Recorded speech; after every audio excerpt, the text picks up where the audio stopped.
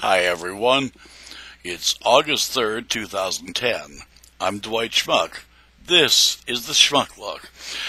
This is actually my second one for today, and uh, the reason I'm doing it is I made a small error this morning, a mistake. Oh, it happens even to schmucks like me. Anyway, I said that uh, Marijuana Resolve is spearheading the fight to legalize marijuana, and I made an error there. They're spearheading the fight here in Vermont to decriminalize marijuana. It has been made plain to them, to us, to everyone by our legislators. They're not about to legalize it, but they'll look at the decrim thing. Now, you know, son of a gun. Here we are, it's 2010, and everybody's so polite and nice. I'm not. I'm going to be the schmuck here. You know why they're not going to decriminalize it? Why they're not going to legalize it? There's too damned much money in keeping it illegal. You've got lawyers, prosecutors, and defense lawyers who depend on marijuana arrests. You've got judges who depend on marijuana arrests. And let's face it, if you just stopped simple marijuana possession, hell, you could knock off two judges just in Vermont, let alone your big population states. Oh my. What a horrible thing, a judge in the unemployment line. Why, we can't do that. They've been educated. Don't you know? Why, we owe them something because they went to school. Yeah. And you know what else? There's just far too much money in the alcohol industry and the pharmaceutical industry, i.e., read, bribing your friggin' legislators, paying them off because, well, hell, if you could grow your own painkiller, you wouldn't need to buy aspirin, would you? Chucky darns, can you imagine? And if you do a doobie, chances are you're not doing a shot. Well, there's a lot of tax revenue would be gone. You see, you're affecting a whole lot of bottom lines. But once again, being the schmuck I am, I'm going to tell you the truth. Something that's very rarely done these days. I don't have exact figures. And there's a lot of smart people out there. Challenge them. I do regularly.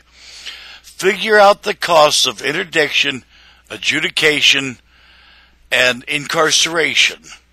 And I'll bet you those costs far and, ex- far and away exceed your revenue streams from your fines and your seizures.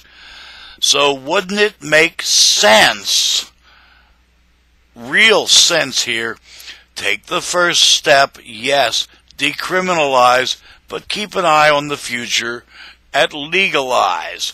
Because I'm telling you, flat out, it's really, you know, oh my word, can you imagine a, a whole country as big as the United States suddenly saying, oh gosh, I guess we made a mistake way back there in 1939 let's correct a mistake here. It's God's way of saying she's sorry. Have a nice day.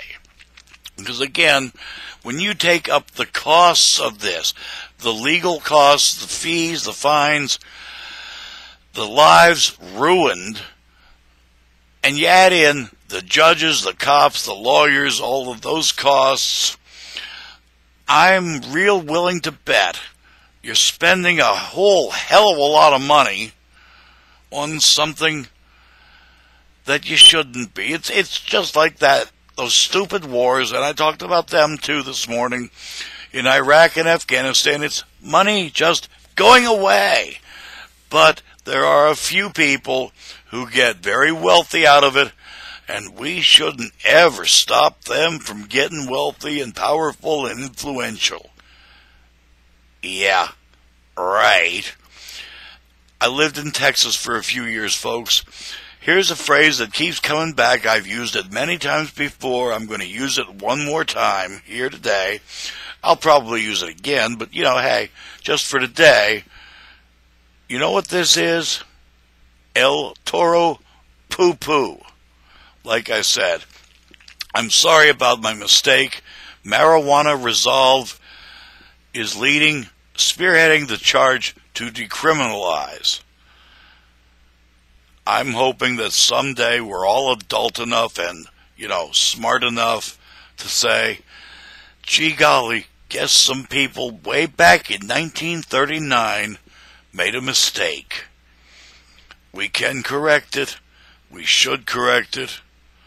We can't go back and unruin the lives that were ruined. But come on now, folks. Think about it.